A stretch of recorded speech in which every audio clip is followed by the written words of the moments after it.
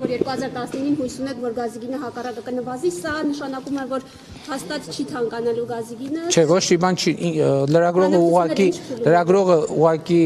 այնպես հարցրեց, որ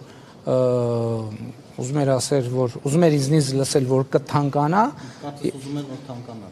հա, տենց էր տպավորություն։ Ես էլ ասացի, որ ես հակառակի հույս ունեմ եւ Ռուսաստանի մեր գործընկերների հետ մենք հստակ պայմանավորվել ենք, որ դա բաց թեմա է, որը մենք դեռ պետք է քննարկենք, բայց ես ասել եմ, որ կարծում եմ ճիշտ կլինի, որ այդ հարցը լուծվի ոչ թե երկկողմ տրամաբանության մեջ, այլ Եվրասիական տնտեսական միության տրամաբանության մեջ, որովհետև դա ի վերջո